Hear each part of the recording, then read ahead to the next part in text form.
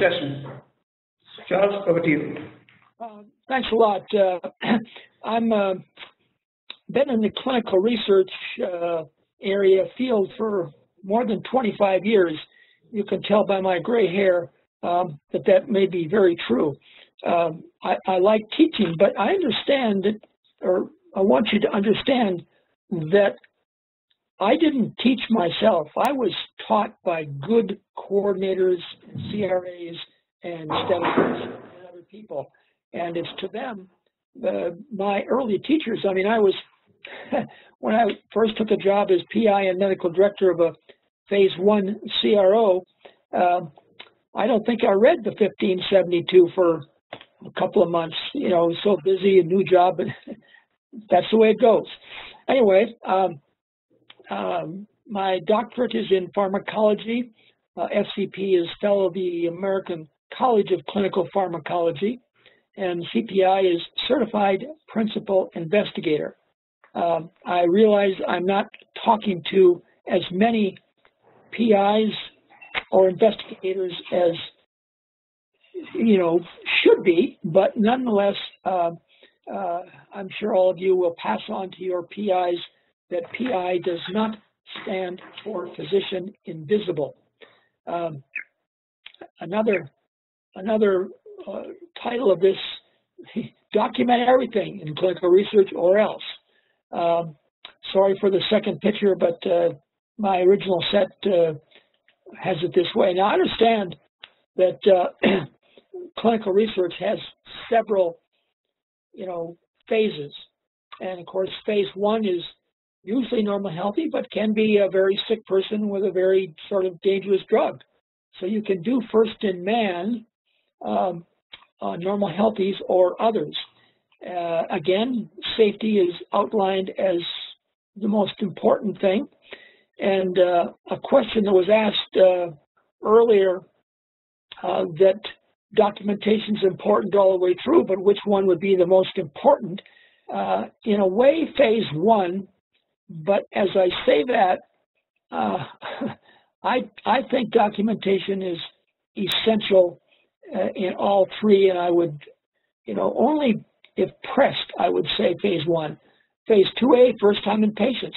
1 and 2A are done in CPUs or CRUs, clinical research units, clinical pharmacology units, and uh, uh, that's the first time in patient. But again, safety is you know, yes, it's a proof of concept, but that's safety. Um, 2B on up, 3A, 3B are inpatients and they vary in size and they vary in location. In phase three, this is where you get the uh, multi-center and even multinational uh, studies and uh, greater than 300, but you know it could be 3,000 in phase three for some drugs.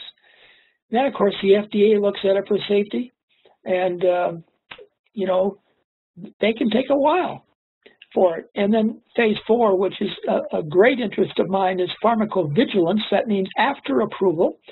And again, we look at it for safety or post-marketing safety was PMS, in case you thought it meant something else. Um, I mean, drugs do have PMS too, but uh, uh, nonetheless, uh, this is this is what clinical research uh, looks like. And I would have to say that documentation is essential for all of them because if the documentation is not adequate, the FDA starts looking very, very closely. And they pick up on documentation. They do. Now, I mentioned earlier that the principal investigator is responsible. He really is, she really is responsible for the whole ball of wax. And by managing data uh, I mean, this means documentation, being sure that everything is well documented. And that's the purpose of this webinar.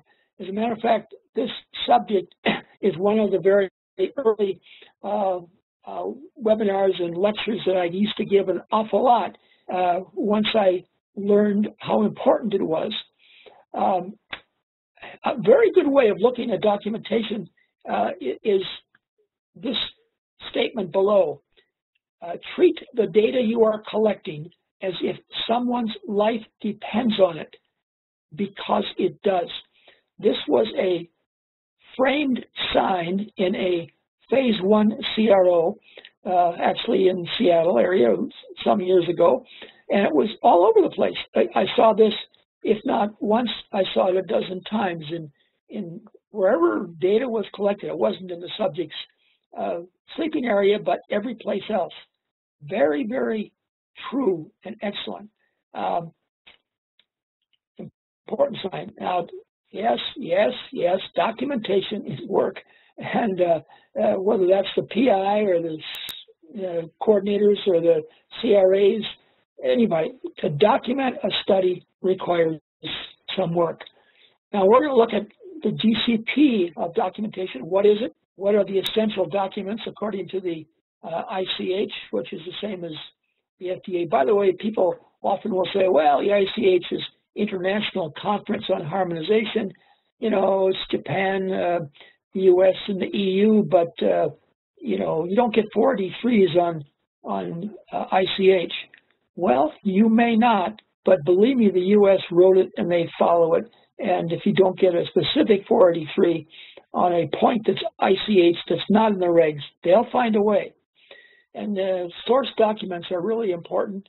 Uh, how best to record. Now, admittedly, electronic medical records, EMR, uh, record things a little bit more accurately in the sense that um, uh, you have to sign off on it because if your blood pressure machine goes right into the electronic record or your uh, pulse ox or uh, temperature goes in, so it's there. Less likely to be a mistake, but it has to be documented.